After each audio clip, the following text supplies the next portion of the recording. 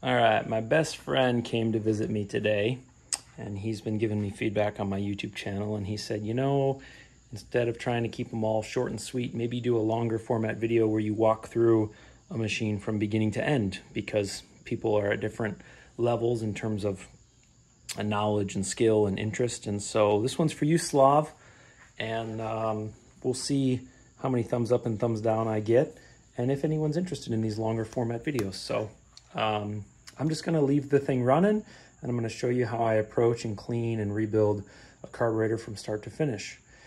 So uh, one of my repeat customers brought me this machine. His complaint was fairly subjective. He basically said it runs, it starts, but it just doesn't seem like it blows like it used to. And um, that's kind of a subjective complaint. Uh, it's, it's, it's more nuanced than doesn't start, you know or leaks fuel or something like that. So I started it up and I don't own this machine and I've not worked on tons of them, although I've worked on some. And, and so it's, it doesn't necessarily have a problem that immediately jumps out to me. But when I was at wide open throttle, I could hear it four stroking. And so you might be tempted to just tune the carburetor and lean it out a little bit, uh, but it's four stroking for a reason. And that's probably related to something with the carburetor. Now, off camera, and I'm not going to show this, I did remove the muffler deflector, and underneath that is a screen called a spark arrestor, and those can get plugged up with soot, and it wasn't. Uh, so I already checked that, but that's something I would check. The other thing that I would check, uh, although it doesn't cause a rich condition, it is something I would just generally check. Take a tool like that, a long hook, or make one. Don't buy a snap-on one, you don't need one. But reach in there and grab the fuel line and bring out the fuel filter. Now this fuel filter uh, is like 90% clean. You can see a little bit of darkening and discoloration on this side, but based on this complaint, I know that that's not causing the problem.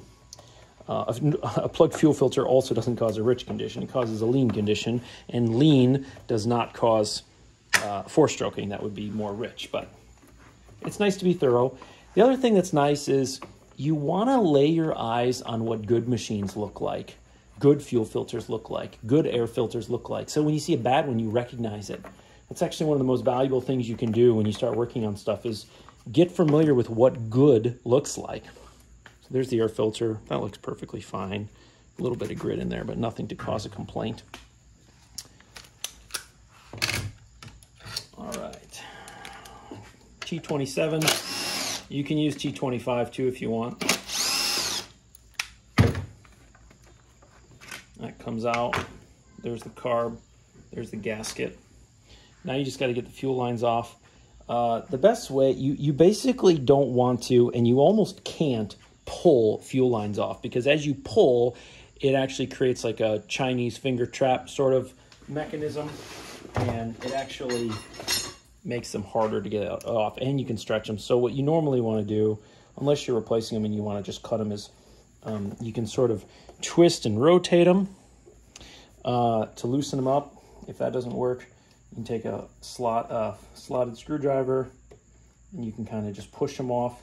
You basically always want to try and push off fuel lines. Now at the end here, you can, once the suction is broken, you can pull them off, but in the beginning. And you want to take note if these fuel lines will be easily reversible. Uh, in other words, is it going to be easy for you to make the mistake of uh, mixing them up or not? In this case, it'd be really hard because they're so far away from each other. So there's the carb. The outside is really dirty, but that's not necessarily any indication of what's going on inside. So I'm going to bring you in. I'm going to, uh, what I'm going to do is I'm going to take some of this customer's gas and dump it into this little bucket that I like to use for cleaning carbs and things like that. I'll often, if I if I am suspect about the quality of the customer's fuel, I'll just drain it and use it as a cleaning solvent for the next couple jobs and just replace it for him. This case, I know this guy really well. I've probably fixed 15 machines for him, so I'm not worried about um, the gas being stale. I, I know that he keeps an eye on that, and, and I know that's not a problem for him. So, all right, so now we got the carb off. Now, what I often do, you've probably all seen these uh, little brushes. I like these. Uh, I'll normally keep a long one and then I'll also trim one with some scissors so that the bristles aren't quite so flimsy. Uh, this one's kind of getting beat up, but I like them when they're a little shorter. They're a little more stiff. And so fuel, gasoline is like the best and cheapest solvent you can find. I know people think that gasoline is expensive, but the truth is compared to something like lacquer thinner, which is 20 bucks a gallon, it's cheap.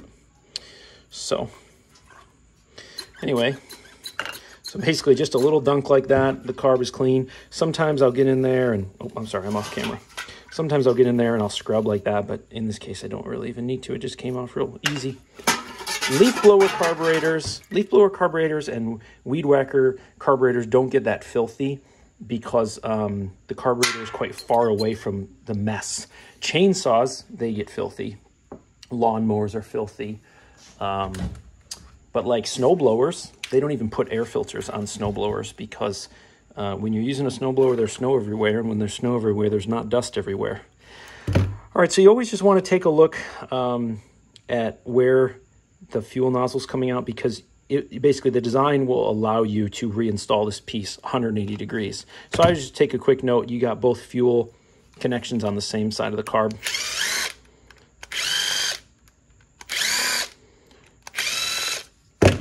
All right, the bulb feels fine to me, so there's nothing to worry about. It's not cracked.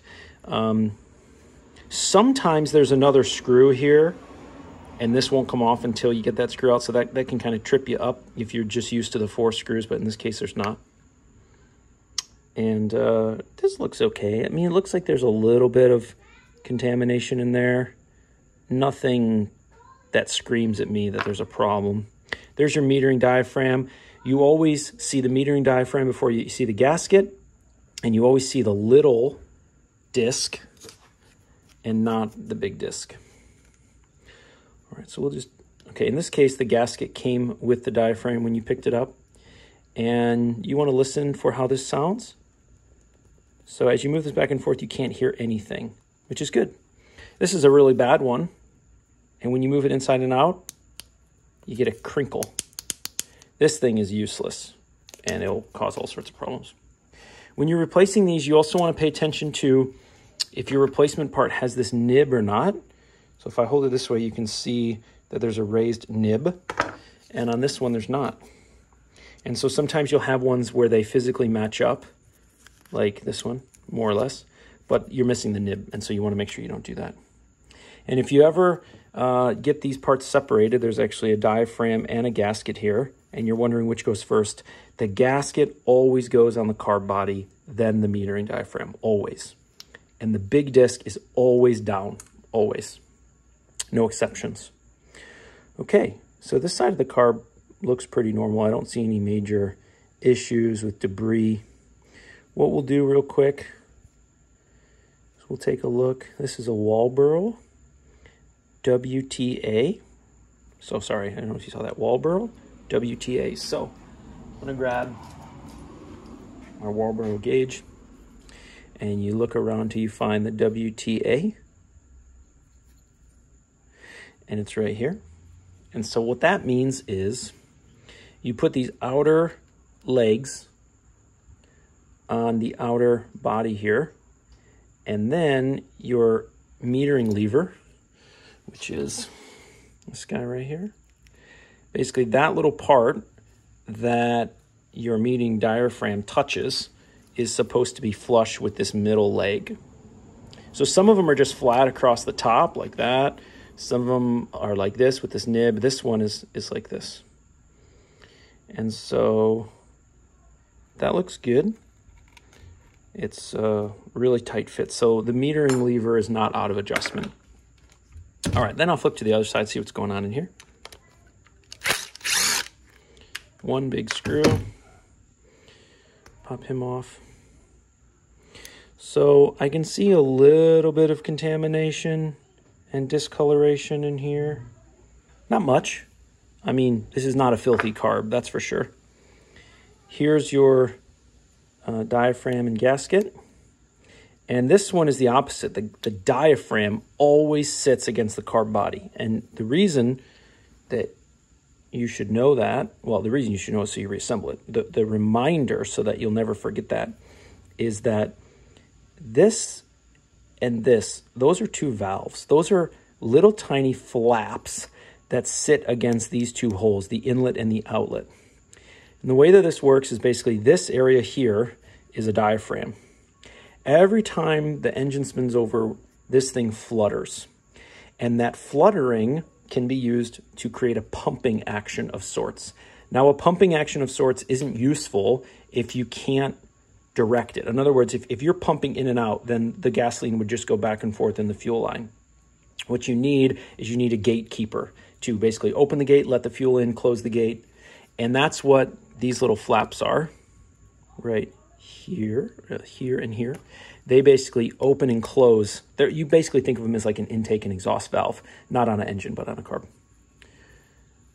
Well, that's interesting. This is uh, not really spring-loaded anymore. Wonder what happened there. That's odd. Normally these spring close. So that might be an indicator that someone was in here before. I've worked on this machine before, but not on the carb. So that's odd. And, and so whenever you run across things like that, you want to think, okay, maybe someone was in here, maybe they did something.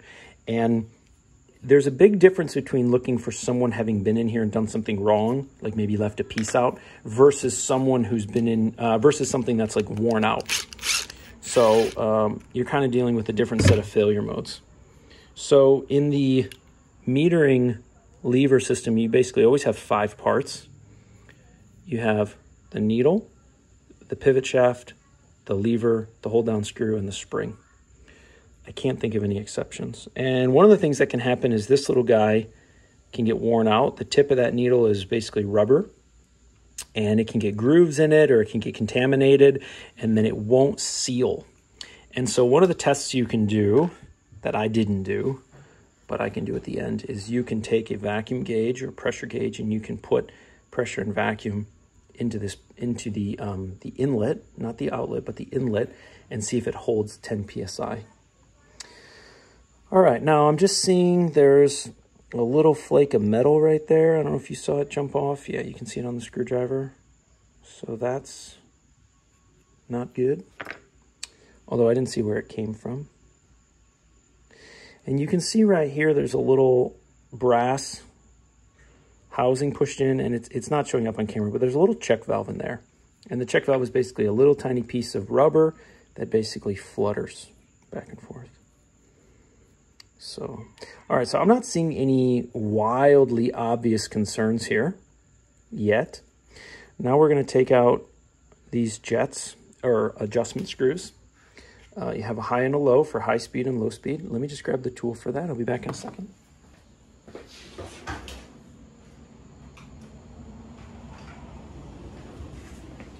So this is where you need these carburetor screws. Excuse me, carburetor.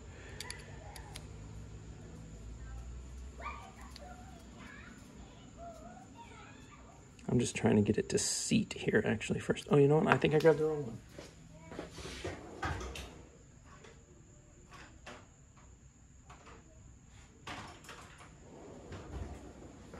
Yeah, so there's sorry, there's a there's a small Pac-Man and a small D. This is the D. I wasn't I don't normally do this stuff while filming. Okay, and then this one, these are cheap and they don't work that well. And actually, this shaft is so thick that it doesn't want to fit in there. And that's why I have a second one that I've I've modified. I basically ground down the outside of this for such situations. So let's see if we can get this out. Now, it's a good practice instead of reversing this to tighten it and count the number of revolutions so that you can reseat it later. And I didn't do that because I don't really care what the settings were at because I'm going to tune it on my own. There's nothing there that really looks too bad. One thing that I always do is I oh when I take these out, I always hold it so that the screws are closest to the top. In other words, like this, not like this, not like this, not like this, always like this. And then I just lay them out in the order that they came out. The one furthest away from me is the one that was furthest away when I hold the carb like this. Because sometimes they're identical, sometimes they're not interchangeable at all, and you'd have to be an absolute monkey to do it wrong. But sometimes they're very similar and you can actually do them wrong. Okay, so now the carb body is basically totally stripped. I'm not going to remove this, which is called a Welch plug, because I don't have a replacement. And occasionally there can be debris trapped underneath there, although that's pretty rare. And normally, if it gets to that point, I just replace the thing. Now you also see that this there's this little plug here, and that's because of this guy right here. If you look in the throat of the carburetor, this is your wide open throttle jet. It's the jet that is connected to this high adjustment screw. And the check valve is really basically just a little tiny piece of floaty rubber, kind of like this material. And basically, if air tries to go down, it pushes against a seat. But if air tries to go this or fuel tries to go that way, then it, it sits with these little fingers that you probably really can't see. And it, it basically functions as a one-way valve. Okay, so that's that for now. So what I'm gonna do is I'm just gonna give this all a quick cleaning. So I would say I haven't really found a smoking gun right now. Normally, I mean, I would say nine times out of 10, I would have already found a smoking gun. Some, something that's like really obviously bad. And to be honest, I didn't and you may not either. And so what I would do, again, you may remember I said that this thing was four stroking and probably too rich. And I don't normally just take adjustment screws and change them because normally there's an underlying cause for that. And uh, just readjusting the carb is not normally a professional repair. Now, for those who are more knowledgeable about small engine repair, I'm gonna just spray these out. I, I do this pretty slow. You can see I'm not like I'm not like shoving carb spray through there at a super high rate. And that's because, well, I'm also, I'm also almost out of this stuff. You got to be careful that you don't um, put too much pressure through those ports and blow out these check valves. You can do that. And so I've seen a video from Walbro or Zama, I don't remember, where they show using carb spray. So there's a lot of debate that you shouldn't use carb spray, but the actual manufacturers show using it, but I would say there's wisdom in being careful because those diaphragms are fragile. And so don't go full blast on that thing. You really don't need to. Anyway, so there is something called an air leak on two strokes, which is basically, if you compare it to the engine on your car, it's basically like a crankcase leak. When a car engine would be leaking oil on the ground, these things basically leak out your air fuel mixture that came in through the carb and bring in a leaner, basically all oxygen, well, not all oxygen, but all natural air um, mixture without enough fuel. And that can create a lean condition. And that can mess with all sorts of things. Um, it can create rich or lean issues. And um, it can also mess with um, the impulse line. So basically the the line that makes the, the, the what we call the impulse line from the engine that makes this thing flutter. And one of the signs that you have an air leak is what we call like tunability problems, where basically it's very hard to tune the carb. In other words, you tune the carb and things seem to be running well, but then it seems to go out of tune. And tuning the carb again seems to fix it. And so you're always kind of changing the tune on the carb. When you have those tunability issues, that is often not always, but often a sign that um, you have an air leak, and that's a more severe issue. And I do know how to test for that, and I can test for that. Um, I don't often. I I, uh, I know some small engine shops would say you should do it every time, no matter what. I, I think that's a bit over the top. You can debate below in the comments if you like, but I'm mostly working on residential stuff, and I'm also trying to keep the costs down for everybody. And so um, I don't do like some shops are basically trying to cover their butts, right? Like they're they're trying to make sure that they don't overlook anything because they don't want a customer saying, "Yeah, I took it to the shop and they missed this." And so what they'll do is they'll come up with a predetermined amount of tests that they do no matter what. And the other advantage to that is a newer technician who doesn't yet have a good sense and doesn't yet have a good idea of what's normal and abnormal, you can safeguard the shop by making him always do a certain number of tests. Well, a wiser mechanic will do the tests that make sense. They won't just always do the same amount of tests. And so uh, what I tell people is basically follow the book as you're learning. And then as you learn and your wisdom and experience exceeds book knowledge, then go with your gut and, and do that. And I basically charge $40 a machine to fix almost anything, and, and then I charge $40 an hour above that. But most, almost all small engine stuff I can fix within about an hour um, or less. And I'm just fixing, you know, friends and family and neighborhood people and things like that. And so I'm trying to keep it on a budget. I'm trying to keep it low cost. And sometimes I eat it, you know, where I don't finish in time and, and I don't charge them. And normally, if I have to condemn a machine, basically where I say like this is not worth fixing, I normally don't charge them either. Because I, I don't want people in the neighborhood to be paying me money and still walking away with a broken machine. Uh, obviously, a small engine repair shop can't do that and stay profitable, or at least I think they can't. Uh, but I can, and, and I'm not in it to make the absolute most amount of money that I possibly can. So when I put these screws back in, I basically bottom them out and you want to bottom out very lightly. You don't want to crank this down. You'll destroy the seat. And so I would just use, until you get the feel of it, just use two fingers and just do it very light until it bottoms out and then back it off a turn. That's going to, backing, bottoming out and backing them out one turn is going to get you close enough that the machine should start and, and, you know, you don't have to worry about you don't have to worry about it being so far out of adjustment that it won't start. All right, gasket down, diaphragm up, as always. Fuel pipe is on this side. And this doesn't really matter. All right. Um,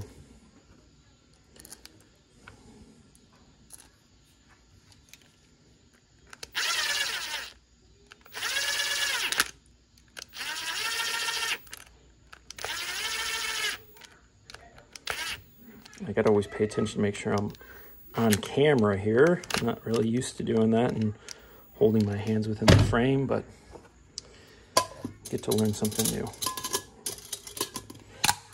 All right. So just kind of push all these tools to the side. Let me grab the blower.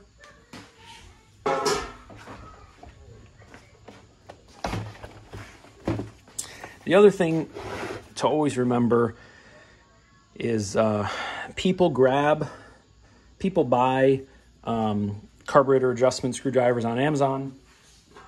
And when their machine starts to run bad, they go on YouTube and they do a little bit of quick reading and they try and adjust things. So, you know, this thing could be four stroking because someone jumped in here and made an adjustment. Um, so you always gotta you always gotta consider not just the failure at the technical level, but the failure at like the customer level. Um, I have had customers lie to me, and um, I basically knew they were lying because they claimed that they had bought the machine from new. Uh, like one guy lied to me. Basically, he he.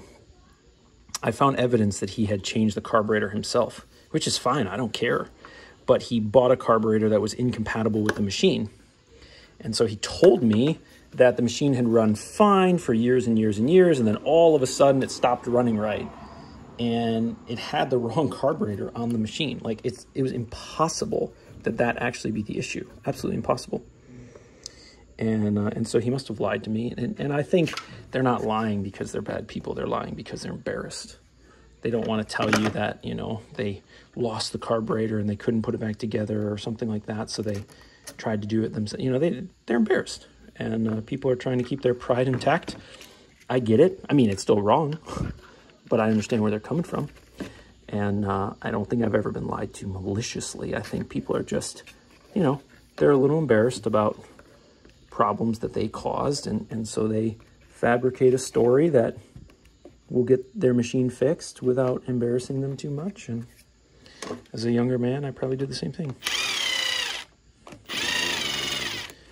Now, one thing I noticed, I'm not really going to address it yet, but the fuel discharge line from the purge bulb was really uh, loose. Like it really loosely sat on there. Now that doesn't technically matter because you don't have to worry about air getting in from the discharge.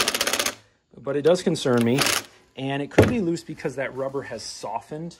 And uh, if the rubber has softened, oh, that's odd. If the rubber has softened, then uh, it can collapse. Okay, so one other thing, I just ran the trigger to make sure I hooked everything up right. And if you look over here, you can see something's wrong because basically it's it's pulling it, but it's not retracting. So as you may have remember a few minutes ago, I noticed something was weird with the spring and uh, something is still weird with this spring. It's not going to cause this problem, uh, but it will cause it to stay at wide open throttle uh, or, or a higher RPM even when you let go of the trigger. So, all right, so here's what I'm to do. I don't want to do a bunch of editing, um, so I'm to start up this machine and see if it's fixed. And if it's fixed and it's running better after I tune it, I'm just to publish this video and you'll be watching it. And uh, if it needs something else and it's still not fixed, then you won't be looking at this footage anymore. So uh, you just have to take my word for it. But I'm basically going to start it up, get it warm, and then I'm going to tune it, uh, tune the carburetor, and we'll see if it's fixed. So if you're watching this, it's fixed. I hope you learned something. I don't know if these long format videos are interesting to anyone. Um, but if they are, give me a thumbs up. If they're not, actually, no. If they are, don't do anything. I'm not going to ask for thumbs up. But if you didn't like it, give me a thumbs down. That way I know you don't like it and go check out Donyboy73, a Canadian small engine repair guy. Really good. And I learned a lot from him. All right, folks, take care.